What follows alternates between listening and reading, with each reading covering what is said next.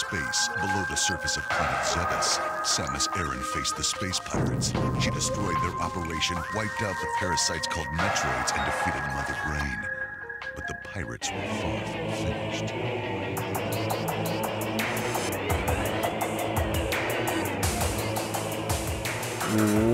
Welcome to Smashterpieces, a casual walk through the history of the Super Smash Bros. Ultimate roster. My name is Joe, And my name is Matt.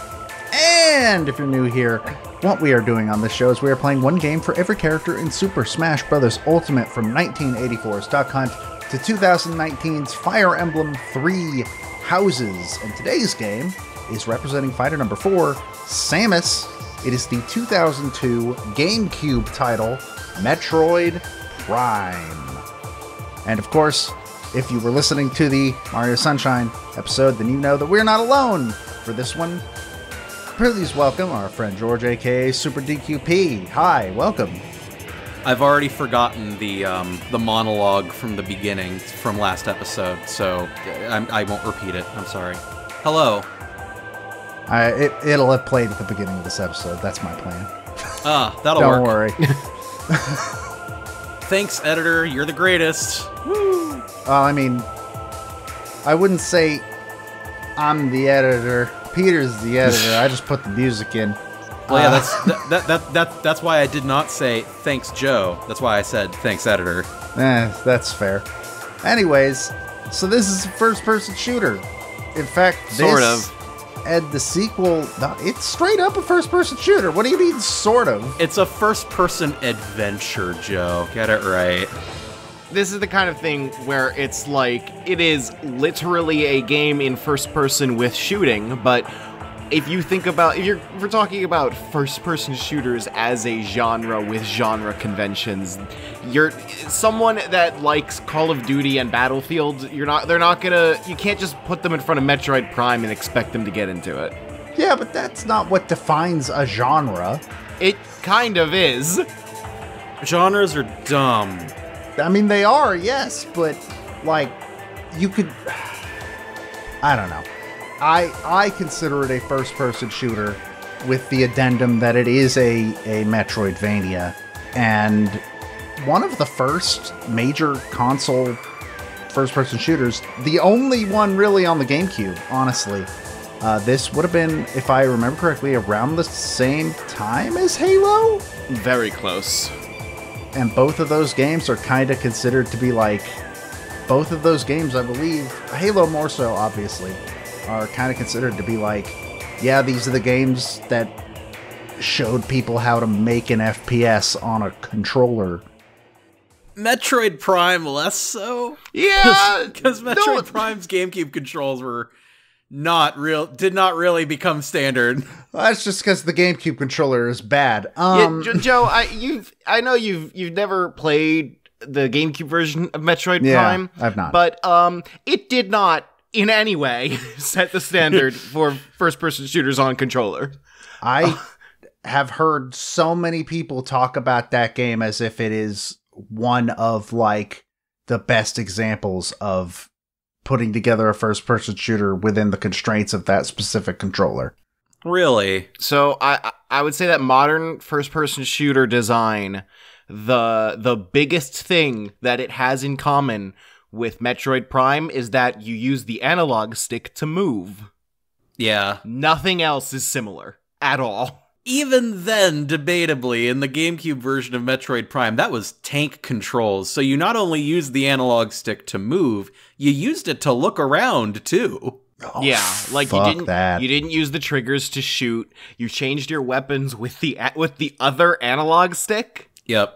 Like Which, granted, is better than uh, how the Wii version does it, which is the version that me and Matt played, which is really clunky. Switching between visors and and beams. To be fair, um, I have 100%ed the GameCube version before. And the controls may sound bad, and they are by modern first person shooter standards. but for the purposes of Metroid Prime, it's perfectly workable. Like it, it's it's still very playable cuz nothing really involves much precise or fast aiming in Metroid Prime. Yeah, I mean it's got the lock on too. Yeah, I would actually compare it more to like a 3D Zelda game on GameCube. If only because like it basically has Z targeting, you know. I, it it really does, and this is a big part of why I say like this isn't a first person shooter. It's a first person game with shooting. The way that you do the shooting isn't even similar to other first person shooter games. It has more in common with The Legend of Zelda. You lock on, you press a big face button to, to use your weapon, and you don't have to aim. You don't, like, you never have to consider anything about ammo except for you'll eventually run out of missiles. It's, Don't it, have to aim sounds very modern FPS. Thank you. oh, pshaw. how? Aim assist. Well, somebody's playing shooters on consoles. Get a load of this guy. Yeah, you know what game doesn't have aim assist?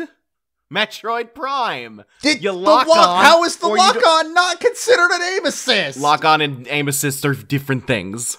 You're a different thing. True. They serve the same purpose. They literally don't. Aim assist is literally the controller is not good enough to aim precisely, so we nudge it a little bit. It doesn't lock on. Look, I don't play a lot of shooters. All right. What I, do you want I'm from me? aware. It's very clear. But yeah, the GameCube version's alright. It's pretty I good. mean, so like this is legitimately the first I've ever heard of somebody tell me that the controls in Metroid Prime are bad. I didn't say I don't. I don't think they're bad. I just I- think they have the no, word bad has no- been used multiple times in this conversation. Joe, not Joe, by me. Joe, you are the one who brought Metroid Prime has bad controls into the conversation, I think. Yeah, I said the Wii version has bad controls for moving, for switching beams and stuff. The Wii version. Didn't you also bring up earlier in the conversation? It's like, oh, I've heard the GameCube version is not great for controls. No. no, did I misinterpret that? Okay. I've I said that I've heard that it was lauded for the way it used the GameCube controller oh, well. my bad. My my bad then. Sorry. Because that's literally all I've ever heard about this game. I, I no. You said. I think you think you said that. You no, said I that did it was say a, that. You said it. You said it was how first person. It, it was an example of first person shooter controller controllers, which it's not. It All right. The controls are fine, but they have nothing in common with other first person shooters. Again, I didn't play the GameCube version. How am I supposed to know that? I'm going by what I've heard over the years. And if I, I trust you guys when you tell me that that is incorrect. So how are the Wii controls anyway? I mean, they're fine as long as you're not having to switch anything. I I was perfectly fine playing it with the pointer controls. Uh, turning on the lock on, I can't believe it's turned off by default. But Mhm. It kind of sucks that the like we had this generation of pointer controls that were really cool and really worked well and then that's just gone forever. Like gyro just doesn't work as well. We're never getting this back. yeah, Gyro still works fine, but not, not nearly, as well as as the well. Not not nearly as well, and also not nearly as many games support it. Yeah. the fact uh, the fact of the matter in terms of that is like everything about playing the game on the Wii is fine. It's when you have to hit minus or plus and then physically move the cursor down to where you want it to go and sometimes it'll give you a certain i don't know a boss that switches between what kind of beam it can be hurt by uh, near the end of its final phase very quickly and it's just it feels so clunky to switch the visors i think were the worst one i could sort of do the beams but like switching between the visors first of all can i just say i don't like any of the visors Aw. i don't like them at all You had a lot more trouble with the switching than I did. Than I ever have, I would say. I I, I, was- I kind of wasn't expecting you to have so much trouble.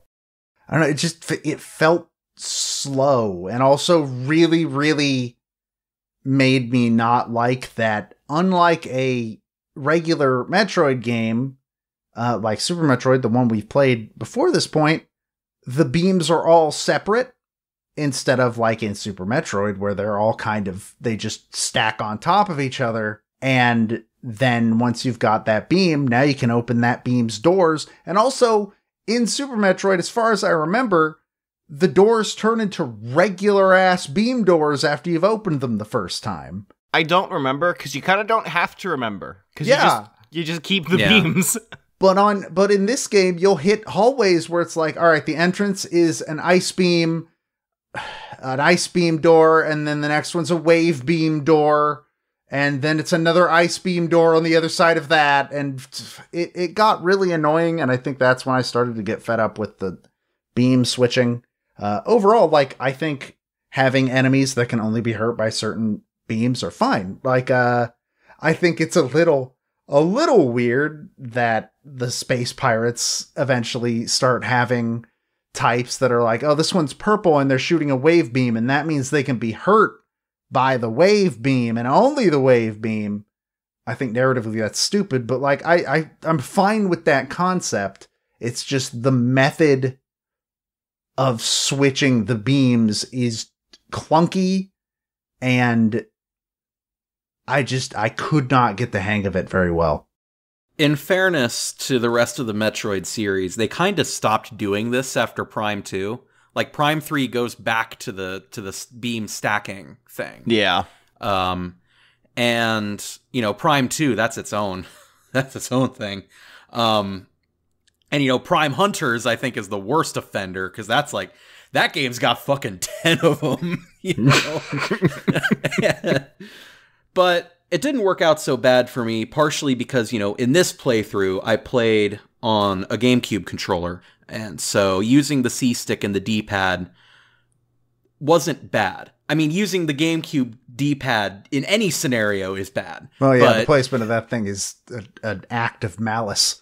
yeah, I w- and I, I would say that the, the the pointer controls for how you swap the beams and the visors, they did the they did the best they could, frankly, because Yeah. Well, yeah, I don't know what else they would have done. They're the Wiimote only has so many buttons on it, even when you attach the nunchuck to it. Yeah, because and and like Prime Trilogy exists because people played Prime 3, which knew it didn't have those buttons and so put it put beam stacking back in so that you didn't have to deal with this problem. But people liked that game so much that they were like, "Well, let's go back and do the others." And then they had to solve this problem of, "Oh no, there's something incompatible here." I can't remember. Did Prime 3 have the same visor switching method with the minus button and gesturing in a direction? Uh, if I'm being honest, I don't even remember if Prime 3 had other visors. It did. It it ha- it had the it ha- it had the scan visor because all of them do. And it it never also replayed had the, Prime uh, 3. And it also had like the um I don't want to turn this into a Prime 3 podcast, but it did have different visors. I mean, so- we're never going to have a Prime 3 podcast, so we literally you never have know. The we literally have plans to eventually bonus episode Prime Three. They don't know that. That's a secret. We've literally explicitly talked about that to each other, and now they do know. So now we have to do it. uh, but I, I do want to go back and, and reiterate that I don't like the other visors. I don't either, I think. Uh, the scan visor is fine. The scan visor is perfectly fine. Uh, I think it's a neat way to get sort of lore. I think scanning enemies is a neat way to get like, oh, that's how they expect me to kill this thing, uh, etc. cetera, et cetera. The thermal visor, all right, fine, whatever. It, I don't, I don't really care, but whatever. The X-ray visor is terrible. It's a, it's a bad visor. I don't like the X-ray visor at all. So the scan visor is legit one of my favorite additions to like the entire Metroid series. One of my favorite things in the whole Metroid series, just because I love the way that it helps to flesh out everything in the world. I would I would say the scan visor is like the the biggest thing that this game does really well and what kind of ties it all together. Yeah, I think if you didn't have the scan visor, this just wouldn't be as good of a game. I agree. I, I think it works really well with the whole theming of Metroid, which is that Samus is, you know, walking through these places alone, sort of after stuff has happened or as things are happening, which is, I really liked how eventually you get into a bunch of pirate logs of like, yeah, so Samus is here and, uh, we, uh, this, look, this ain't good, and we gotta do something about it right now. that only gets better as time goes on. Like shit, we gotta we gotta change our passwords. Oh god. like I think it's in Prime 3 where it's one of them is just like describing the premise of the game and then it just says truly we are cursed. Science team has advised that we stop this. yeah, this that's the best one. The, the, the absolute best one is them talking about recreating Samus's suit abilities and talking about the morph ball and like yeah, we've uh people have died. We should s- scientists have told us we should stop. We're going to we're going to stop. Even like the less consequential scans, like the ones that don't get added to your logbook, but they're still explaining what the room you're standing in is and everything. Yeah. That that makes it so that there is a story being told every step of this adventure, even though it's literally just you by yourself walking through planets. And it sets that atmosphere immediately when you get to the the friggin' Orpheon at the beginning of the game, and you're just reading these logs of like the damage that's going on. Escape pods have been jettisoned, power's been lost in multiple sectors of the ship, and it's just slowly revealing what's going on, and you you get the you start to get the idea that they, they were experimenting on these parasites, and the experiments went a little too well, and now they're fucked. Yeah, like um I think like a lot of people at the time and also today, this is something that the game is praised for today. Um a lot of people talk about this game's atmosphere and how it is very absorbing and very immersive. And I think for Metroid Prime, as hollow as it might sound at first, I think that's kind of the entire point. Because that's something that the scan visor is really good at doing, is it's getting you to care about the world. And that's ultimately kind of what's at stake in the game's narrative, is that, you know, it's a game about uh, the industry of conquest and war kind of clashing against the natural ecosystem of Tallon 4. And the game does a really good job of getting you invested in that ecosystem because you learn everything about it. It's I think it's really well done and it had a really big impact on me when I was when I was younger and I first played this game. Well, I do have to say, in regards to the game's relationship to its planet, uh, they did it wrong. Tallon 4 is still there when Samus leaves at the end of the game, and that's not how that's supposed to work. Okay, Joe, whatever. Don't worry, Joe. This this this game is unique in that you do not destroy a planet. Every single other Metroid game I've touched has ended with Samus fleeing a planet as it fucking explodes and everything on it dies. She didn't destroy a planet in Metroid 2, but don't worry, she went back to it later. Went back to finish the job. which, which same about Metroid 1 actually. yeah, basically, that's our home. Those are the two that I haven't played. Um Yeah, it's uh Yeah, I- a- and, and it's funny. I, I'm not going to give you too much context because spoilers. But the answer to does Samus destroy a planet in Prime Two is maybe. all right. Okay. that feels like something that shouldn't be able to be vague, but all right. Did the sun go supernova or not? I don't know. We'll have to see. eh. I feel like we'd know. Okay, so I did want to take this back a little bit because we went on. I went on this big tirade about how great the scan visor is. The thermal visor. the thermal visor is. I like the idea. Um, I think the thermal visor is fine in the area in which you get it and then stops being fine immediately upon exiting that area. I do love the story that, you know, Retro Studios always likes to tell about how they introduced the visors to this game, which is the story of how, like, Miyamoto apparently dropped by Switching and was heads, like, baby. What, what, what if, what if Samus could put on a bug's head? And it just took them a while to just parse what the hell that meant. Well, it was because Miyamoto doesn't fucking speak English. Right. Uh, and, and, he you know, was at- it- he was talking about like different types of helmet and visor. Right. But he, He- he- worded it as what if Samus could put on different heads? No, it's not like he was just there trying to speak English. He had an interpreter. He said what he meant. Well, And he- and you know obviously that- didn't because Samus doesn't take her head off and put a new one on. Hot take. Um, I love the way the X-ray visor looks. Like it's not very it's not very practical, but I love how it looks. It's also just not very functional because like it it- like it just puts a fog over the world where you can't see two feet in front of you. like the X-ray, vi- the X-ray visor looks cool because X-ray stuff looks cool. The problem is, I need to be able to see when I'm playing your first-person platformer, Yeah. and if I can't see, then fuck you. And also, how do you convey to the player through your world design that they need X-ray vision to progress? That they need X-ray vision to see platforms, which is not how X-rays work. How do you show the player invisible platforms? How do you show them that which cannot be seen? By making it rain. Oh, I think I I have a suggestion. I have a suggestion. Don't put invisible platforms. I mean, no, they actually do a good job with that. You can f- visibly see the rain landing on nothing. Ah, well, not in all the areas, such as the worst area of the game. Like I literally did, and I was like, "Oh, I can get up this way," and I didn't Mhm. have the X-ray visor. So there's no rain in the Phazon mines. Uh, by the way, the Phazon mines suck. They're a blight on this otherwise pretty good game. We'll get to it. We'll get to it. Holy shit, they're so fucking bad.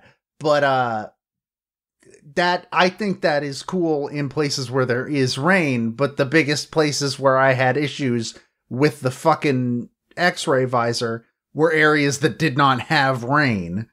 there was I was cleaning up for a hundred percent um during my last playthrough. And there was there's a missile expansion in Magmoor Caverns. I think it's in the Triclops pit. The room's called the Triclops pit. And uh there's no way to know how to get that missile expansion unless you just happen to be walking through there with the X-ray visor. And I mean, once you have the X-ray visor, you start to go, "Okay, this that nothing else is solving this puzzle. I guess the X-ray visor solves this puzzle." yeah, it's Which yeah. that's kind of like how it is in the Phazon Mines for me. It's like, okay, I just got the X-ray visor. Maybe I'm supposed to use the X-ray visor. Yeah, and then I use the X-ray visor and then I can't fucking see anything but the invisible platform. Well, yeah, the X-ray visor's bad, yeah. but I don't think the context of it existing is bad. They, they got to They got to do something to nerf it, so it's not just like the detective vision in the Arkham games where you just have it on all the time. well, do you remember the X-ray visor in Prime 3? Yeah. Wait. Here, Joe, let me share you a picture. Oh yeah, that right. At least I can see the ground. you know? It's the little things. yeah, yeah. with your with your Arkham City detective vision. You ever you ever fucking looked at an actual x-ray? You can't see anything but the bones. That's why we use x-rays. Man, it's crazy how some creatures can just biologically evolve to just exist on entirely different spectrums of light. That's crazy. Yeah. That's wild. Yeah, it sure is. If it's a good thing they didn't build an entire boss around that. Oops. Uh, but no, I think overall, I think this game is good. Other than the Phazon mines, which uh, I would, uh, if I had the option to go back in time and convince Retro to jettison any part of their game, the Phazon mines would be where it goes. I think that place is cool lore wise, but being in it is a poison, much like Phazon. I would say Magmoor Caverns because the game just literally get like gets Yeah. better paced without Magmoor Caverns. Yeah, they make you they make you travel through Magmoor Caverns like like you get in between in between the time that you get the Varia suit and the time that you enter the Phazon mines, you got to go through Magmoor Caverns like a minimum of 6 times and that's if you know what you're doing. And that entire time, you're not getting any critical power-ups in the caverns themselves. It's just You're not even got- getting any optional power ups. There's like four of them in Magmoor Caverns total. Yeah, and so it's just it just kind of feels like you're going through Magmoor just because you have to, and that's just kind of it's just kind of lame. Can I talk about the Phazon mines yet? I did kind of want to add an addendum of like the X-ray visor. I think is like the only real awkward power up of the bunch. Like I like most of them. Uh, the beam upgrades uh, for the input that super missiles are on power beam. The equivalents for the other three beams, except for I think ice spread looks cool. I didn't get it. I watched Matt get it. I think that looks cool. Uh, but the flamethrower is one I did get. Mm-hmm. Yeah, flamethrower is useless. That thing Flamethrower sucks. is actually useless. I mentioned to uh, I mentioned to Grim, I think in one of the Twitch chats that was like, you know, when you 100% this game and you get up to the final boss, you can use the Wave Buster on it just like as a treat. Yeah, the, so the Wave Buster would be good if it didn't burn through your ammo in 20 seconds. Yeah. Like, It it, doesn't cool, do though. enough damage to justify how much ammo it costs. Mm-hmm. Yeah, Fa- Phazon mines, Joe, go. they suck. They're bad. They're badly designed. They are the only like. So I had, I had difficulty reading the map for most of the game. I don't think that is entirely on the game in general because I mean I don't know how the fuck else they do a map. Doing a Metroidvania in 3D, especially when you don't have anything to base it around. Uh, yeah, there is th- like the map is so much probably the best thing they could have done that like literally Yeah. games today are still copying that exact map. Yeah, Jedi Fallen. except oh, except. the Phazon mines have multiple levels to them. And when you try to look at the fucking map in the Phazon mines, everything blends together, and I can't tell what floor I'm looking at, what floor I'm selecting. All of the orange blends together into a blob of, of fuck, and I don't. The Phazon mines are so fucking bad. And I'm gonna I'm gonna hold a grudge towards them for the rest of my life. All five years of it. I don't think they're that bad like the first time you go through it because like even though the map looks absolutely heinous, um it's actually kind of a straight line more or less. Like you just go from one end to the other and then you just kind of loop back and leave. I mean, that kind of Um, makes it worse because then they could have just literally made it a straight line. Yeah, that's true. It's not. It's not like there's that many shortcuts to loop around and like make it less awful.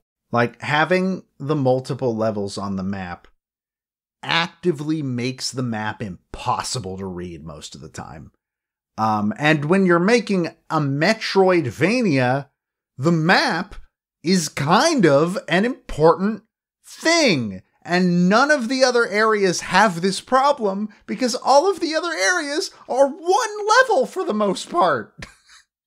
That are like two or three, but they're still like on the same. But n- yeah, none of them are on top yeah. of each other. That's the problem about the Phazon mines is that they're all all these levels are on top of each other, and so Yeah. when you try to like pan around and look around the map, it all just blends the fuck together. It's like those strategy guides that have like a map on the whole page, but then they can't fit the whole map on one page, so they have to put like the letter A next to one of the doors to let Oh, you know I that was- like the second I, page. I just, I just saw that today for Aria of Sorrow. Yeah. to let you know that like the second page, hey, this is where A comes from. Another game with a bad map. Yeah, Fa- Phazon Mines is like that, except it's in game now, and you have it's in 3D, so you have to move it around. I think my experience with Metroid Prime is tainted a little bit because I've replayed it so many times. So oftentimes I don't even really have to look at the map; I just know the layouts. Well, that's Um, that's similar to how I was with Sonic Adventure 2. Like at a certain point, you're not playing the same game anymore. Right. Yeah. And I can so what it was fascinating watching Joe go through this game and stream this game as a first timer just to sort of relive, you know, what what is this game actually like to play from a first timer's perspective. Somebody somewhere in the world is going to get that exact experience for most of the games we play in 2022. Yeah. I haven't I haven't played Wind Waker in a while, so that's probably going to be me once once I replay that. but uh it like i do think that that that is a really interesting way to get a separate perspective of like That's why I really liked the the Ocarina of Time episode because we had Matt who knows the game inside and out because of randomizers. Oh yeah, that one Soul, more so. Like I'm not playing the same game anymore. Yeah, Mhm. Soul who has played it a bunch but is not like speed running, and me who has played it once.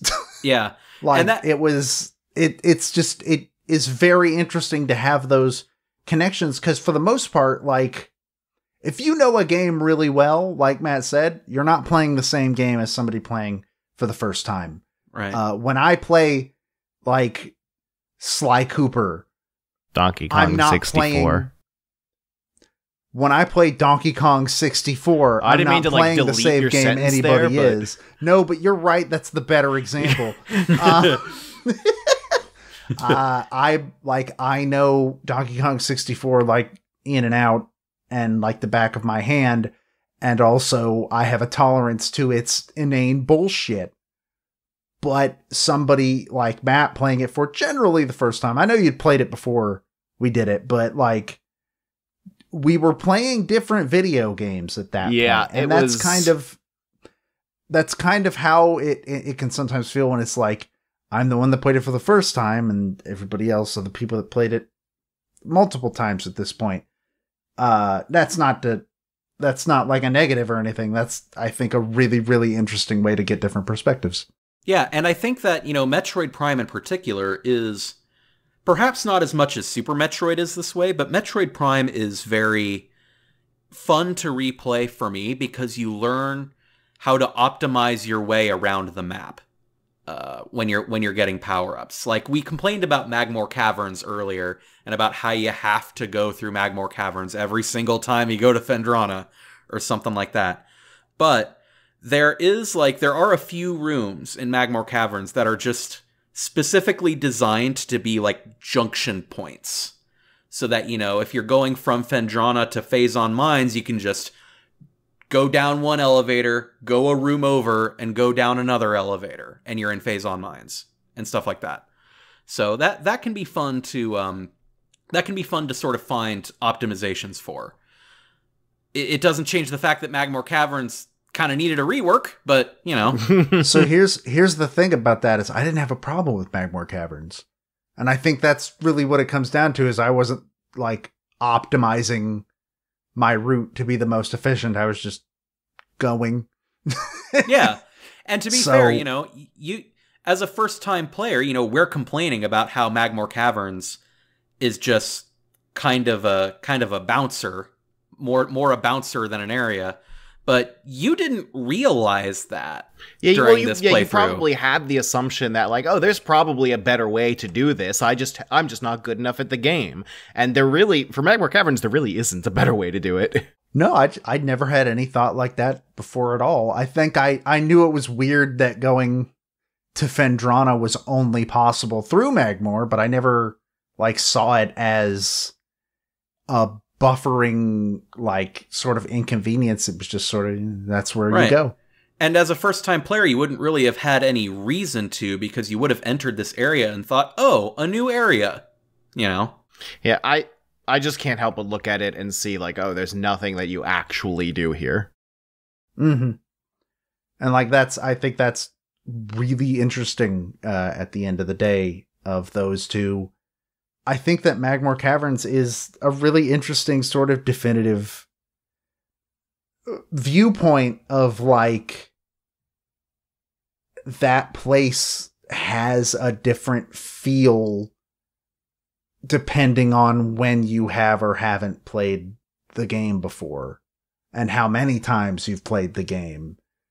Uh, and I, I do think that that's that's really interesting, and I didn't actually think about it until literally while we were having this conversation. Hmm. Well, that's part of the reason we have this these podcasts is so that we can we can talk about it. Podcasts aren't real. True. It, you're you listening? Uh, we're not. None of us are real. We're a dream. We're a we're a we're a fucking simulation. You're Uh, dreaming right now. Wake up. Wake up. I I don't think I personally have anything else to say about it. I think the boss fights across the board are pretty good, except for Metroid Prime Core. Um, Metroid Prime Core just I don't think it's bad. I think it's bad. I just think it's I know I see what they wanted to do.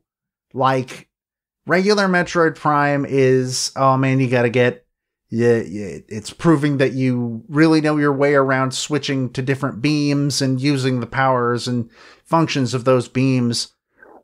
And then, you know, the core is supposed to be, oh, the visors, except as we've already covered, the visors suck. So and I'm also, gonna, so so I'm going to use the boss fights to kind of do a cool segue in a moment. But um Metroid Prime Core, even if you know what you're doing and even if you're not struggling, it's just kind of a drag. It's just a boring fight. It's a wait around fight. Like you're literally yeah. just really sitting and fight. waiting for the boss to like let you play the video game. yeah. And it's not there's nothing interesting that you're trying to like avoid or do during it. It's literally just like you're you're spending time sitting not playing the video game until it's time to play the video game. And the the second phase, the second phase of Meta Ridley kind of has the same problem, but at least Meta Ridley is constantly attacking you. Yeah. I was I was saying in Matt's Twitch chat during the Prime Core fight, like at least Lingering Will had the courtesy to do really hard anime bullshit against you while in in, in between the moments you could hit him. Yeah, and that's Yeah. that's kind of why I think that Meta Ridley is a better example of exactly what Prime Core does because you're sure you spend a lot of that phase not able to actually do damage to Ridley, but at least he's doing something on screen. the problem isn't that you need to sit well i guess this is kind of gonna kind of gonna be hypocritical because i said like the opposite about lingering will specifically. The- but uh, Li- lingering will pretended that he was vulnerable uh, because every Yeah. other boss in that game was but like the thing about prime core is that like it's like literally there is no gameplay during that. You're not you don't even need to really dodge stuff unless there happens to be fission metroids that you should really just not bother well, with. also he he does the shockwave, which means you can hit A sometimes. Yeah, I guess so. Yeah. Uh, but also just the I the act of his fucking. I under like I said, I understand the idea that he goes invisible and you got to use one of the visors to see him. One, if he is in the visible spectrum, then he should be visible in all the visors. Two, there is literally no indication about what visor you need, so you have to just like switch between the two. And as we've already covered, uh, X ray and thermal really hard to see anything while you're using, so you can easily just miss him. So well, so Joe, it, it's it's funny that you uh that you bring up the whole uh, you should be when he's in the visible spectrum, you should be able to see him in every visor because we did just talk about how in the, in real X-rays skeletons are all you can see. Yeah, but you you can't even see its skeleton. Who says this has a skeleton? I assume it has a skeleton. Who says it doesn't? It doesn't. The Who Metro Phase it One is an exoskeleton. It can turn things with exoskeletons don't necessarily not have a skeleton. Please ignore all of nature, but um, Prime Core also like I think Prime Core actually like consistently cycles between like visible spectrum, thermal, and X-ray just consistently as it goes. also I think the the shittiest part about uh Metroid Prime Core in general is it's really easy to accidentally step out of the Phazon pool. yeah. which I did. I did a lot, and I genuinely most of the time don't know how. It just it just happened, and I didn't realize it until too late because like I'm not looking down at my feet when I'm fucking shooting the boss. What? It's it's dumb. Uh, that that phase of the boss fight is bad. The other phase I think is really good. I think the first phase of Metroid Prime is is great, that, yeah. Mhm. Phase One is an incredible fight. but the I- core Oh, yeah. sucks. I hate Phase Two, and no escape sequence. No escape sequence. It just it acts like there is. But There's an escape no. sequence. It just happens off screen. Yeah, that's stupid. Yeah. No, there's an escape sequence. It's just at the beginning of the game. Oh, that's true. It's a, it's okay. They It's, a, subverted expectations. it's okay. Prime 2's coming. Yeah, Joe, you're gonna hate that, by the way. Great. um, I did want to use the boss fights to segue into a topic that I kind of broached at the end of the Mario Sunshine episode, which is that um, I played this game in a weird way. We're about 45 minutes into this episode. Nintendo stopped listening. Yeah, the lawyers aren't listening. I can break kayfabe. Um, so I played this game in Dolphin VR, and I think that um, there's a lot of aspects of Metroid Prime that are really cool to see in VR, and another, a few others that are illuminating, if not in fun ways. Um, but one thing I wanted to bring up specifically for VR is that you don't really appreciate as much how fucking big the bosses are in this game.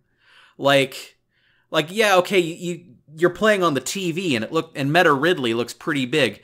In VR, he towers over you, and it's like legit, really, really cool to kind of look up and there he is peering down at you, about to charge you, and you're like, oh shit, oh shit, oh shit, oh shit. Or like, you know, we spent all that time dunking on Prime Core for not doing anything. But like, there's a few little moments in that fight where the Prime Core just kind of does a short little lunge at you, like boom, and like that shocked me every time it happened in VR because like he's lunging straight at you, and I'm just like, whoa, jeez. Um, it was it was really cool. Um, I couldn't play it for more than 15 minutes at a time because I was about to say this sounds cool and also like the greatest motion sickness nightmare I could think of. It sure is, especially because I played it on a GameCube controller. Yeah, So that wouldn't I- help. so I played a VR game with tank controls, and that did not feel great to play for longer than 25 minutes. After that amount of time, my brain felt like it was about to implode.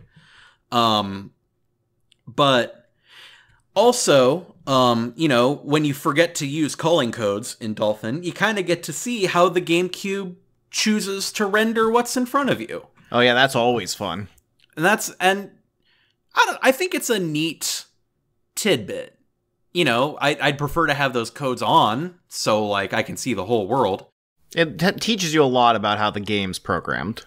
Yes. Um, it teaches you a lot about how this game was just kind of and all games. Let's let's be real. All games. It's a miracle that any video game is ever released ever. Yeah, every single cool, incredible video game that's ever been important to you is put together with duct tape and spit and a wish. Like, do you rem- do you remember when when Terry Cavanagh released the source code for VVVVVV and everybody was like, "Holy shit!" How does this game even run? They're all like that. Every all like video that. game you have ever played is that. Yep. That's why that game had a 30 FPS cap. yup. Like Met- Metroid Prime is my favorite game of all time. It is near and dear to me. It means a lot to me and has meant a lot to me forever. Oh my god, that game was thrown together in less than a year and it kind of shows sometimes. That's video games, baby. It's video games, baby. Yep. Yeah, wasn't the story of the like the behind the scenes uh something like yeah, it took us like 6 months to get like one level approved by Nintendo and then we had a year to make the rest of the game. yup. yup. They made four prototypes and they were all more or less scrapped. That sounds like Nintendo. It's a miracle more than anything. It's a miracle this game exists. It is. Yeah. This game had such a weird development that there's a what happened episode about it. yeah, this game's this game absolutely sucked to make, um, and it's still a masterpiece. I still think it's fantastic. Um, I do still think it holds up, but oh my god, it was. It's a miracle this game exists. It's a shame it's not a 2D Metroid. So Okay, I, Matt. I don't I don't got much more to talk about in terms of the game. Do we want to go ahead and switch on over to the music? The Sure, music. and the music's really fucking good. It It is. really Might is. add. So uh, I wanted to begin with a song that I got to experience at the beginning of the game, and you guys had to wait until the credits. Yeah. Says you, I experienced it 20 years ago. Fair. Okay. Okay. I experienced it in Super Smash Brothers Brawl. Menu theme.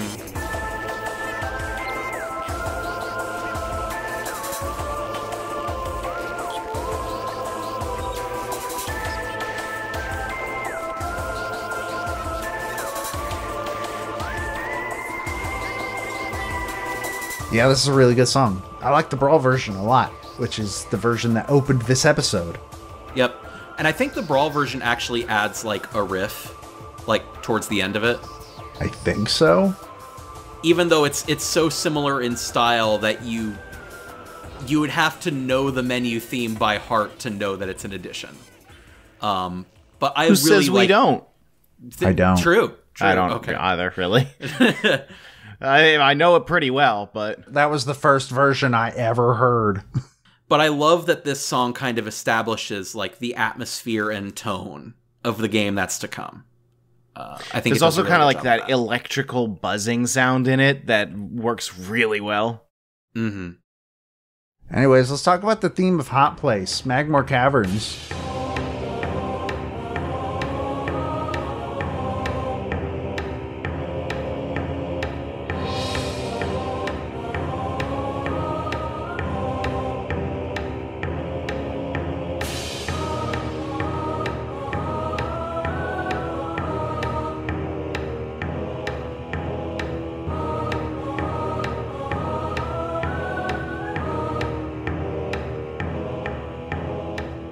This song was really good in Super Metroid. I'm it's this is a really great OC remix of it.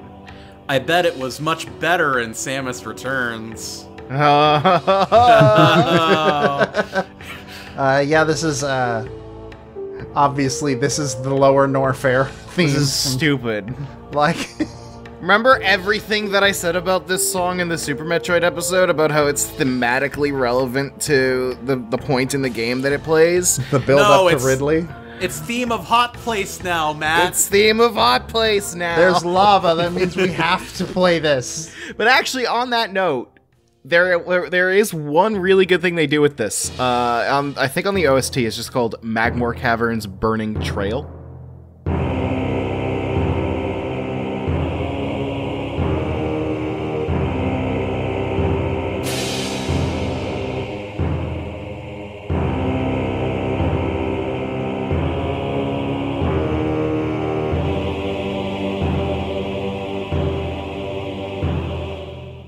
It's just it's just this kind of prelude to the song that plays in the first room of Magmoor Caverns.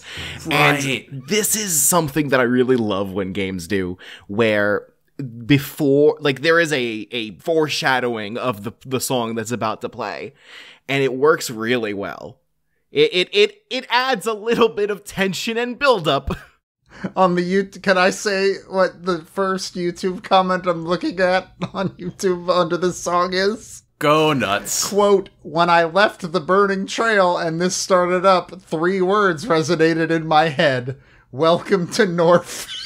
but I do I, I really do like that like it establishes this sort of musical liminal space of sorts where it's like it's like this sort of in between between the Chozo ruins and the upcoming hot place if you will.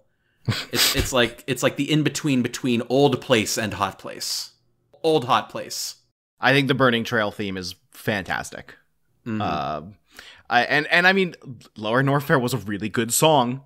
so, uh, but it's kind of it's kind of fucking wild to me that on the Samus Returns soundtrack, it is called Magmoor Caverns parentheses Samus Returns version. I um I love that. So I remember Oh, when I remember when Met. I remember when Metroid Dread was coming out, and Matt and I were playing it. Um, I I remember saying th- there's a essay from a YouTuber named Sideways about how Rise of Skywalker's soundtrack is just not great. um, and the reasoning being that it just appropriates a lot of this different music that was very deliberately used throughout the Star Wars canon, but it just appropriates that music without really thinking about why. And as a result, it just kind of dilutes the meaning of it. Mm-hmm. Um, and I remember playing through Metroid Dread, and I remember DMing Matt saying, like, this is happening to lower Brinstar as we speak, isn't it? Mm, a little bit. And and that's also been happening with uh, with the lower Norfair theme, unfortunately. At least in Metroid Dread, in that example, you are speaking to something that has something to do with Brinstar in general. That's true. It's it's better. It's which isn't much better than Theme of Hot Place, but it's still better, I would say. In Samus Returns and again Prime Two, you'll get to it. Um, it do- it is basically just theme of Wet Place. Hmm. But we had like we got Theme of Hot Place. What about Theme of Cold Place?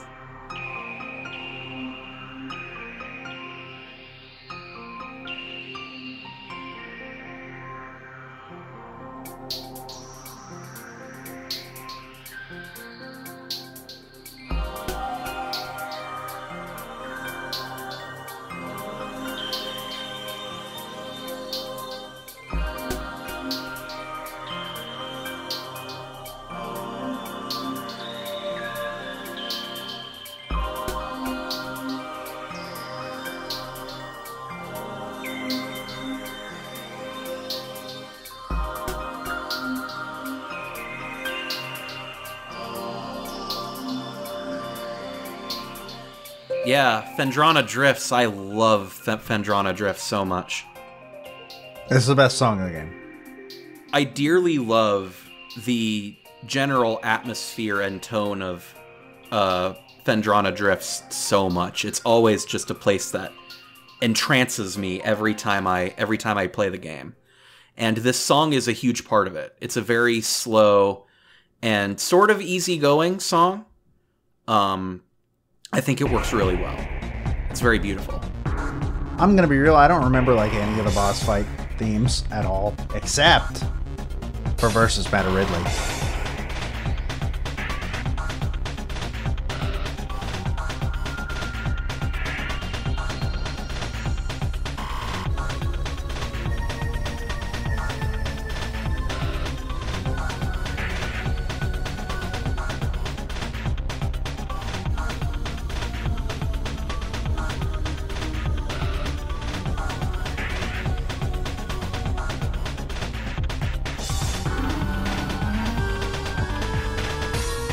Which actually might be my favorite version of the Ridley theme ever.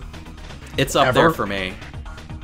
It's pretty good. Uh, I really like both of the Smash remixes, but this just like this version is just really, really, really good. It pains and saddens me to say that the other M version is also up there. oh yeah, I like. Here's the thing: I think Other M's soundtrack is overall fine. Um, that's not one of the problems the game has.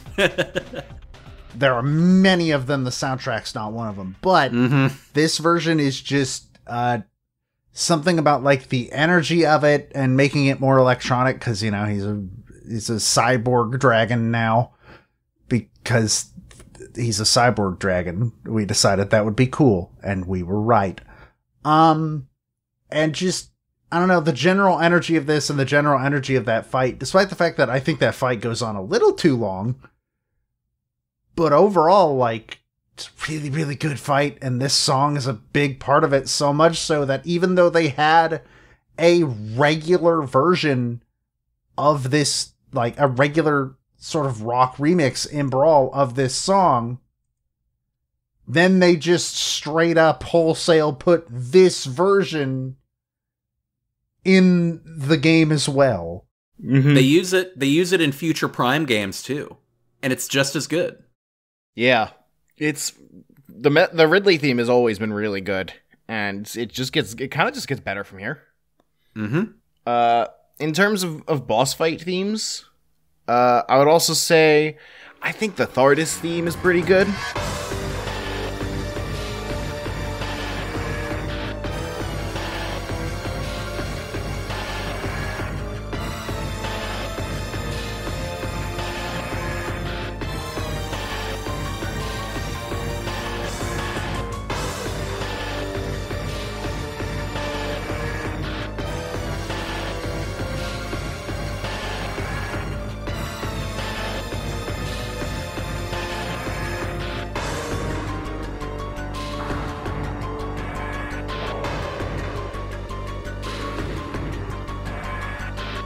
Kind of got the right energy for the fact that you're like fighting a rock kaiju. Yeah, Like, there's just something very like strange and unhinged about that fight that this theme captures really well. yeah. I mean, you're literally fighting phazon possessed rocks. So Yeah. I, I get that. Yeah, you're fighting the things from Breath of the Wild. I forget what they're called. Uh, they're from Galaxy Stone Quest, Talus. Thank you. Ah, yeah, stone taluses. Um, also, another boss theme that I don't think is like quite that great, but it's notable because of a piece of trivia, which would be the Flaahgra theme.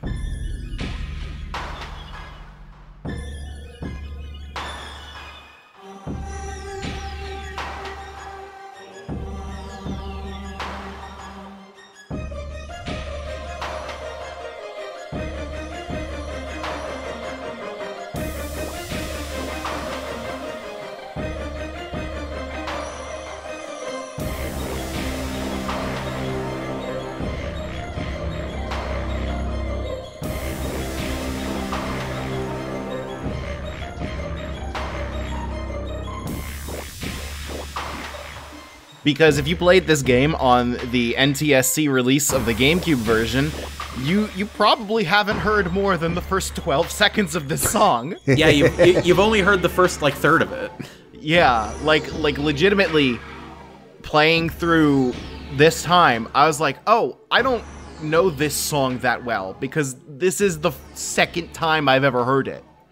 And it does start it's it does start to ramp up near the end and get really cool. But you don't hear that in the GameCube version. And when you're playing the GameCube version of the fight, it's actually kind of funny because it just kind of meanders in that first 12 seconds for a while. Yeah. It's okay, so does Flaahgra. Uh, because the the idea of it, the thing that happened was that they like applied the loop for the song backwards. So ins- instead of looping, like instead of getting to the end of the song and looping back to near the start, it gets to near the start and loops to the start. Yep. I'm to bring things back to Cold Place, and uh, I'm to bring up Phendrana Drift's depths, just because I can. Otherwise known as Phendrana Drift's Deep Lake area.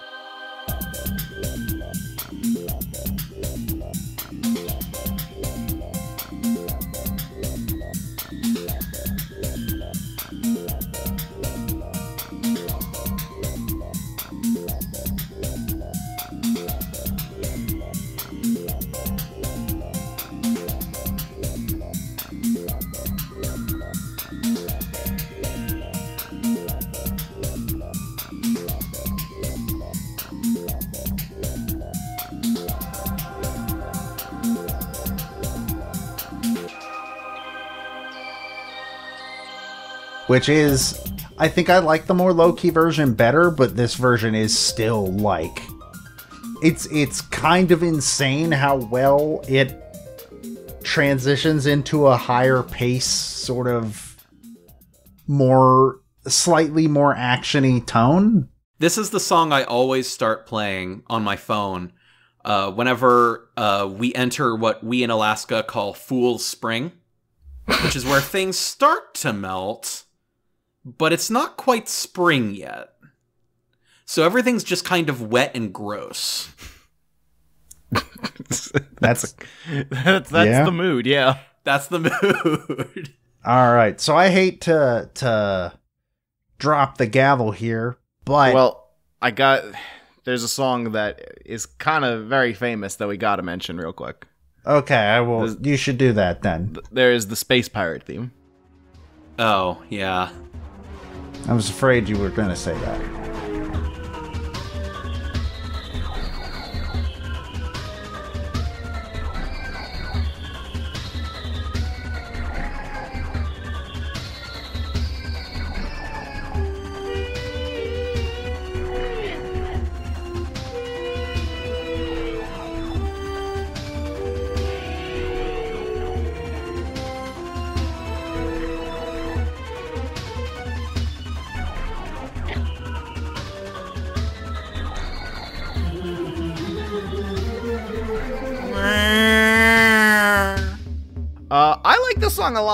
Like. I get the impression that you guys don't.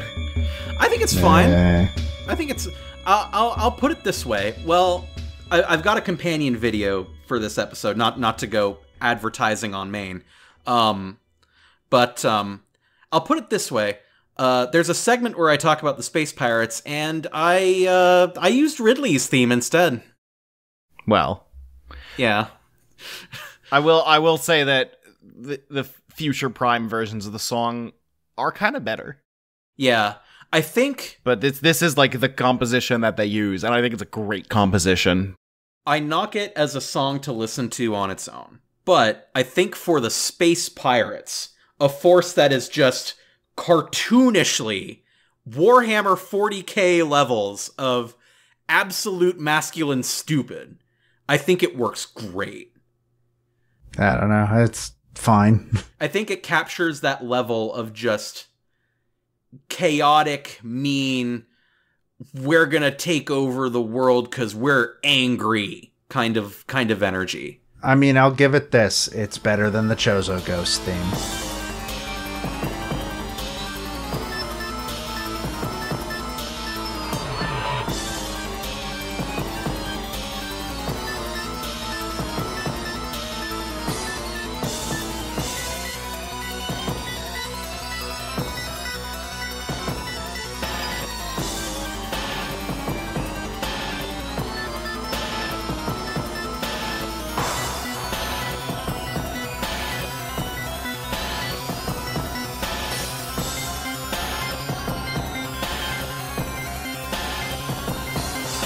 There you go. That's my that's my nice thing to say about this song. It's not terrible, but I have no attachment to it. Chozo Ghosts, whatsoever. Chozo Ghosts just suck in general. Oh yeah, they're Yeah. just they're bad and their song is bad, but you know. Th- those guys died, Joe. But anyways, we have got to start wrapping up. We have been going for as long as it might take to blow up a planet. No, I don't know what that means, and I refuse to elaborate. I mean, speedruns get pretty quick, so Actually, yeah, Yeah. you know what? You could probably have finished Super Metroid in the time that we uh, have recorded this episode. Metroid Prime, any percent. Uh, while Matt looks up uh, something that might sort of make my joke slightly funnier, but not. Hour and six Uh, minutes. Oh, okay, there we go. Uh, George, where can people find your stuff? Um, I am on YouTube at Super DQP. Um, I don't really do live streams, unlike I think most of the guests that you have here, but I do do. I think most of our guests don't really. Yeah, I think DVD Smith might be the only one who does. Okay. Um, I do uh post edited uh essay type content on there. I did actually, as I mentioned before, I did actually create like a companion video to this podcast episode. And um, maybe you can link that in the description. I don't know if you're feeling that generous, but um, but you can find me on YouTube at SuperDQP. You can find me on Twitter also at SuperDQP.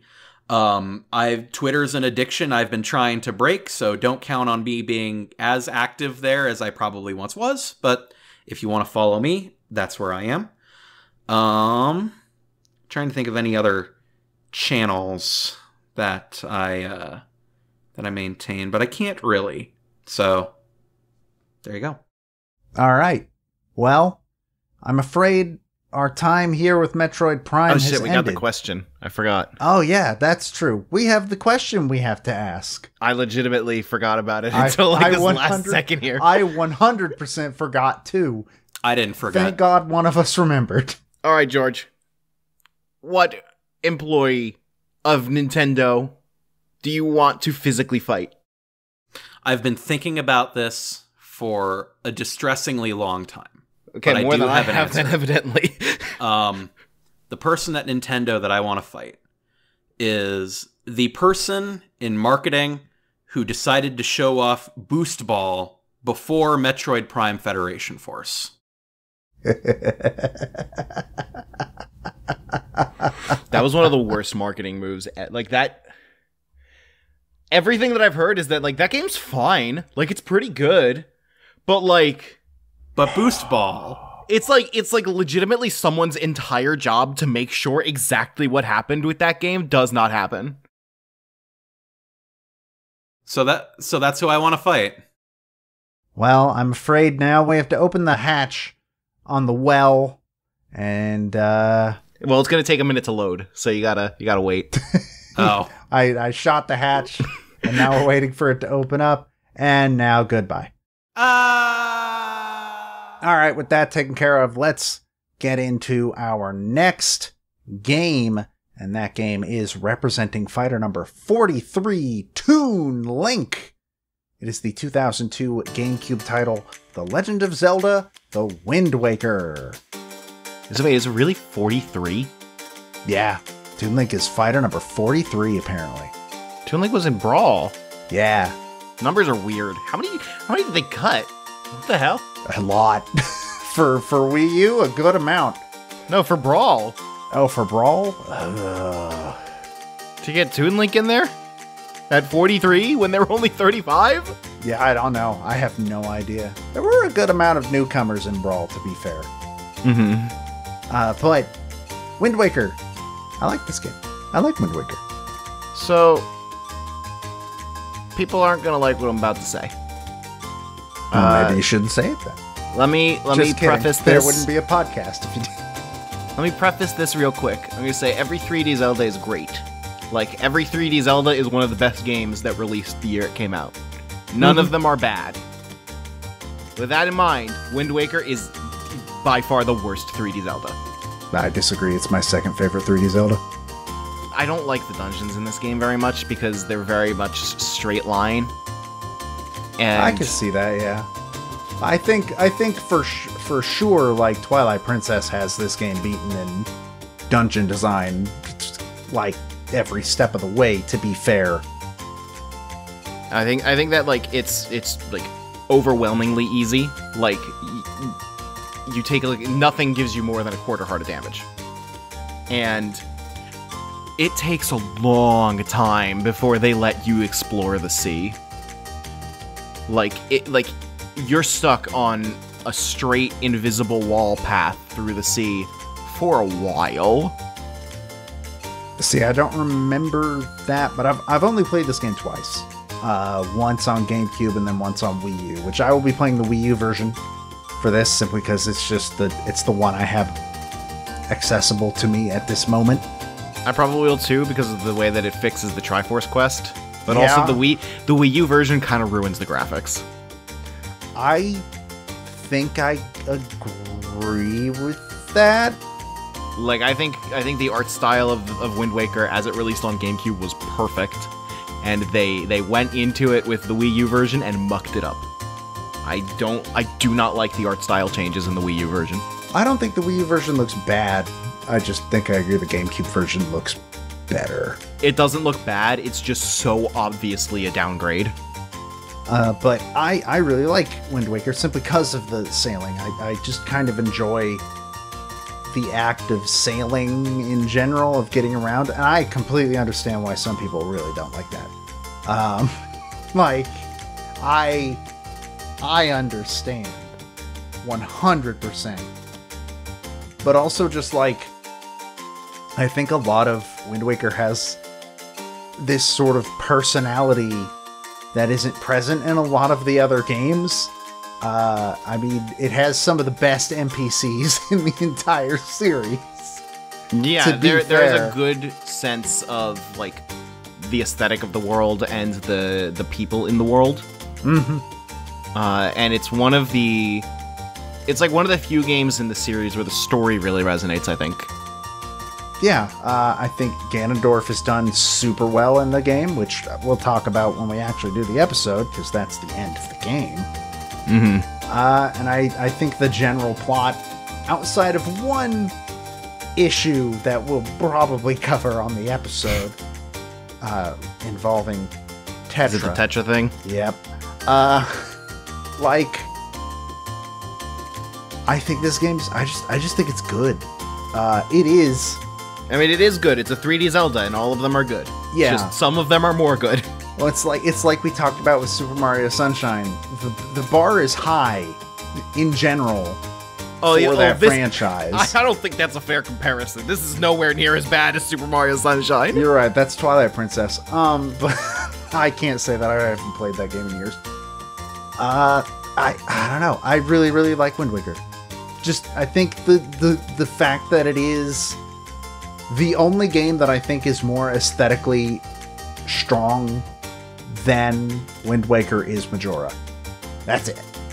Um, I think that that those two sort of tower above everything. Twilight Princess, I think, sort of gets muddled by its art style, but like I said, it has like the best dungeon design in basically any of the games. I don't even think Twilight Princess's art like art design is bad. It's it's just it influenced Smash Brothers a little too much. Ah, boy, did it. Uh, and I'm I'm kind of glad that Toon Link is in Smash, but I do wish that they gave him more abilities that were just Wind Waker ish. Yeah. instead of him just being short Link again. and he was clearly supposed to be the same fighter as Young Link. Yeah, pretty much. I don't know. I like. I don't totally understand why they didn't go back on that, but Nah, who knows? he was very clearly meant to fill the same role. He should be an Echo fighter. he's he's up there with Dr. Mario, where it's like, why aren't you just an Echo fighter, man? Come they were on. weirdly unwilling to make any character from before Smash Wii U an Echo Fighter. Yeah, and they really shouldn't have been. But yeah, I I'm I'm very excited to replay this game. Uh, I haven't played it in a couple of years, and I really like Wind Waker a lot. Mm-hmm. And you know who else is replaying it right now? And by right now, I mean in like two months. the the NWR's connectivity podcast is currently in the 3D Zelda Game Club. You know, I'm And- seeing a contradiction between the two things you just mentioned. and uh, they they are going to be playing Wind Waker roughly around the time that we are. Right now, they're on Majora's Mask, and Wind Waker's not going to start till like the beginning of May, but we might be done by then. But the point is that if you want to come over to the the NWR Discord, talk about some Zelda games, and listen to a cool podcast with those guys Neil and John that we talk about, you should check out NWR Connectivity. They'll be playing it around the same time as we will. He says about the game "We'll be done with like before in mid-April, Oh, says you. followed followed by You saw how long Metroid Prime took. that's because I wasn't able to start for three weeks. Uh, but yeah, looking forward to it, and we will probably both be on that connectivity. I think is the plan currently, at least. Yeah, I mean, I'm I'm on all of I'm gonna be on all the 3D Zelda Game Club episodes except for Twilight Princess because of this show. I mean, we're still a good, at least year and a half out from Twilight Princess. That's too soon, I think. Uh, that's fair. Although it's been even longer since you've replayed Twilight Princess, so maybe that works. Maybe that's fine.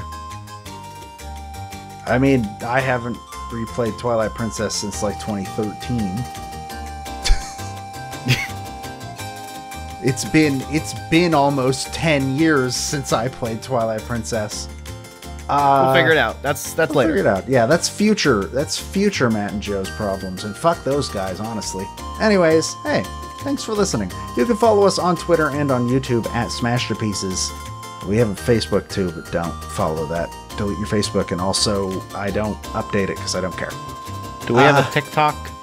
We do not have a TikTok, but NWR has a TikTok. NWR does have a TikTok. How do we get John to put Smashterpieces on the NWR TikTok? He literally did. One of your Majora's Mask clips is on there. Well, yeah, no, he did put a, a stream clip, uh, and then somebody was like, "Oh, beating the dead horse of of Majora's Mask." It's like, what are you fucking? Okay, whatever, dude. um, you can follow me on Twitter at StreamPixel. You can follow Matt at Grievous Dominus, and you can follow our editor Peter at Pete Speakeasy. Uh, by the way, if you go to anondino.squarespace.com, you can find not only Smashterpieces, but you can find the other show I do, I do with Peter. It's called Original Sound Chat. We talk about game music, and it's pretty good. It is pretty good. I've listened to it a couple times. Once, More at than once. least, at least once. Uh, minimum. And that's basically it. I don't got anything else. So until then, my name is Joe, And my name is Matt. and we'll see you next time for our episode discussing The Legend of Zelda The Wind Waker.